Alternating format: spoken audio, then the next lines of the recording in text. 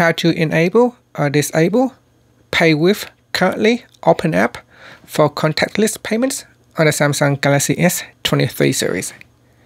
First tap on the home button to go back to the home screen. From the home screen, swipe down at the top and tap on the settings icon. Next, we go down and tap on connections. Then tap on NFC and contactless payments. Make sure you turn on the toggle button at the top to turn on NFC payment. Then we go down and tap on contactless payment. At the top here, tap on pay with currently open app. Switch it on or turn it off when this is turned on.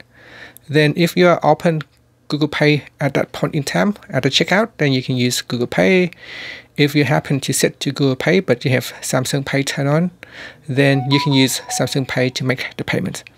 If this is switched off, then it will forces you to use the selected uh, settings in here to make the payment.